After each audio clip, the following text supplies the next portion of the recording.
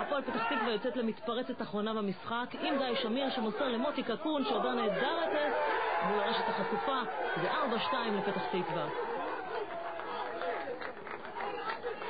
ביצ'ניץ' לא מצליח להשיג את גיא שמיר בפריצה מצוינת. מוטי קקון לא בנבדל הוא יכול לחגוג שער ראשון במשחקו הראשון העונה פתח תקווה מנצחת 4-2 עם שני שערים בשבע הדקות האחרונות ניצחון שלישי ברציפות שמשאיר אותה חזק בתמונת הצמרת